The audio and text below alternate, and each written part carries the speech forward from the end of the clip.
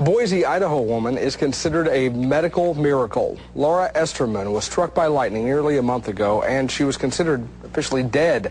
Thankfully, CPR from her mom revived her heart, but she laid in a coma for two weeks, and then she defied all odds and woke up. I, I, I should buy Well, obviously, there was a problem with that tape. She doesn't really sound like that. She doesn't remember the accident, but the evidence is clear. I am so sorry. Laura's learning to walk again after the lightning burned her legs. And we'll have more on that story and hopefully get that tape fixed for you.